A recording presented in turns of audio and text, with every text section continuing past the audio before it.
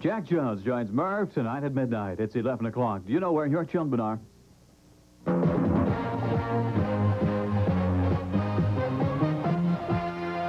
This is Eyewitness News Nightcast. Now, with Western New York's number one newscast, here with Ann Edwards is Irv Weinstein. Topping Eyewitness News Nightcast, a local nursing school is not long for this world. Eyewitness News has learned that officials at Buffalo General Hospital have decided to phase out the nursing school at the facility. A formal announcement is expected to be made tomorrow that the school will be closed following an 18-month phase-out period. The nursing students we talked to tonight were depressed by the news. We had a meeting today, and a few of them would come out, and they wouldn't really say anything to us, but we know that the school is going to be closed sooner or later, but we just don't know when right now. Doesn't look good. Looks like I'll be gone here in May and wondering what I'm going to do in September. Sources tell Eyewitness News the hospital is facing big budget cuts, and that led to the phase-out. A controversy of a different kind over at the University of Buffalo tonight. The question, should campus security guards be armed? Dan Housley has a story from UB. October 21st, 18-year-old Craig Allen is stabbed to death on UB's Amherst campus.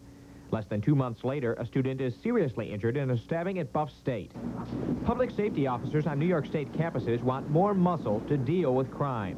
Many think giving the officers guns would be a good start. They're in fear for their own safety. The fact is they don't want to become uh, victims of a crime themselves. They don't want to be stabbed, shot, or beat up. These men go through the same training as Buffalo police officers. But presently, only three of New York's 28 state campuses allow their officers to carry guns. The decision on whether or not to arm campus police is up to UB President Stephen Samples. He tells us tonight he sees no reason to change a long-standing tradition of keeping guns off campus. Samples says he might change his mind if a majority of students or teachers wanted the officers to have guns. Many of the students we talked to said they'd like the idea.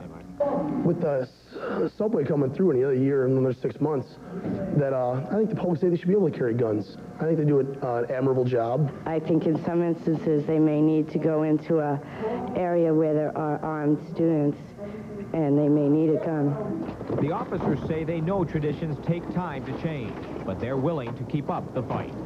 In Buffalo, Dan Housley, Channel 7 Eyewitness News Nightcast. Erie County lawmen scored another victory today in their battle to bust up a major cocaine operation in western New York. Authorities swooped down on four Buffalo homes and confiscated guns, a pound of coke worth $100,000, and $465,000 in cash. They also arrested Enzo Volpe of Richmond Avenue. DA Richard Arcara says it's the culmination of a 14-month probe of area coke trafficking in western New York. A major uh, distribution center, uh, we're talking about over a million four hundred thousand dollars that have been seized in the last two months alone. So far, three arrests have been made with more than 20 arrests expected before the probe is over. Erie County authorities tell Eyewitness News that they have questioned a key accomplice of confessed mass murderer Henry Lee Lucas. The talks with Ottis Toole are in attempt to further corroborate what has been learned from Lucas about a series of unsolved western New York murders.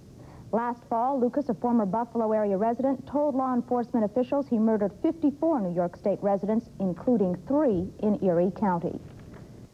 In Newark, New Jersey, authorities say a 46-year-old school employee who allegedly solicited sex from boys jumped 21 stories to his death as police tried to arrest him. And now the story of an almost perfect crime. Almost perfect. Save the fact that 19-year-old Montgomery Weeks was caught. The Orlando, Florida teenager with an IQ of 147 has been found guilty of plotting to kill his father in 1983 by filling his water glass with a colorless poison. And from New York City tonight, more news on Bernhard Goetz. You may know him better as the subway gunman.